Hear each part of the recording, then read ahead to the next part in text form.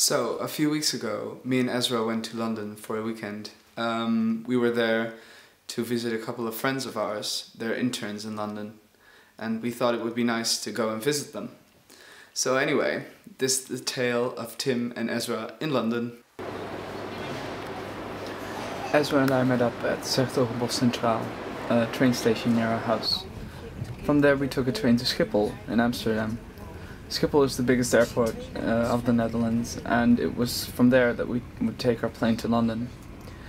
Ezra slept through most of the ride there. Um, you can sleep pretty much everywhere. When we arrived at Schiphol Airport, it was beautifully decorated. Um, lights were on from the ceiling, and there were Christmas trees everywhere. I actually fell in love with the lights on the windows. They were shaped like miniature cities. Unfortunately, Schiphol is still an airport, and so the decorations fail to really feel cozy. Airports involve a lot of waiting, uh, as anyone who has ever flown will tell you. Our wait was even further extended because our flight was delayed. Guess what? Ezra is bothered. I am because we have a delay until 10.15. So yeah, I'm bothered. It's safe to say we are bothered. After our extended wait, we finally boarded a train and were flown to London Stansted Airport, where we got our luggage and waited for the. Our bus on the way to our friends had free Wi-Fi. Being the internet addicts we are, Ezra and I spent the majority of our trip on our mobile phones. After a while, though, I got bored. The bus was lit by this blue light strip that actually had a gorgeous effect on the interior. I spent most of the trip recording London from inside the bus and playing with focus. Finally, we arrived at our destination, Bethnal Green, where we were picked up by Nika, Sietske, and Khalid. It was about half past one now, and Ezra and I were pretty tired. But the sight of the three of them and being able to exchange information with someone else than the other person gave us a bit more energy. The next day, Ezra and I went to Camden Town. I did not take my camera with me for that part. I did, however, bring it when Sietske, Nika, and I went to Winter Wonderland that night. I'd heard of Winter Wonderland before, and Nika and Sietske were both very excited about it. Winter Wonderland is a festival held every winter in London around Christmas time. My first impression of it was that it was a big American carnival that you see in Hollywood movies. There were rides everywhere, and all around us, people were walking around with cotton candy and popcorn while their faces were lit up by the light that seemed to come from everywhere. It had its own distinct beauty.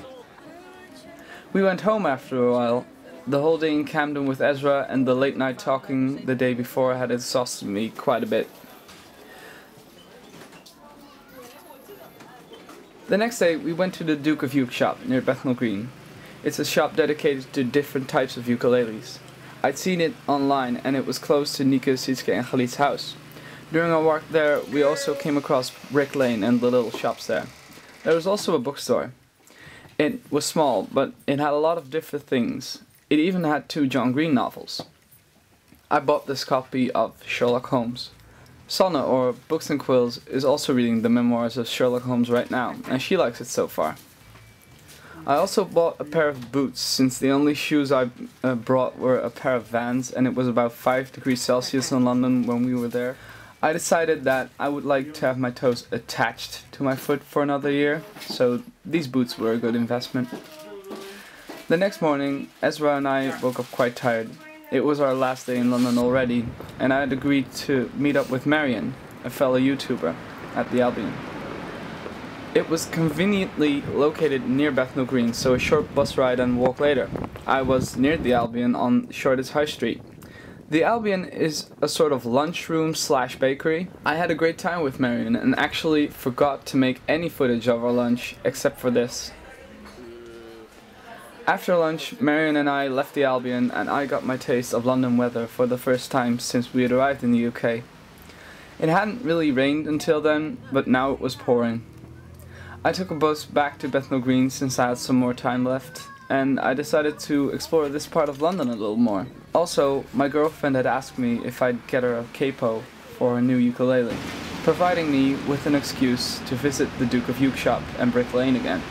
The Duke of Uke shop was usually closed on Mondays, but when I looked through the window, the guy behind the counter just waved me in and helped me anyway. On Brick Lane, I came across this little shop. I'd seen it before in one of Marion's pictures, but I'd never expected to find the same store myself. As you can see, it had all kinds of odd trinkets and maps everywhere. What stuff they sold and what was just on display was not quite clear to me, and for a moment I wondered to whom the people of the store would sell this stuff to. I went back to Bethnal Green for the last time. It was time for Ezra and I to head home. We took a bus from Bethnal Green to the airport, an hour and a half long ride that Ezra of course slept through. From there it was just a short flight home. London is a great city that I love to visit, and this trip was no exception. We had a blast.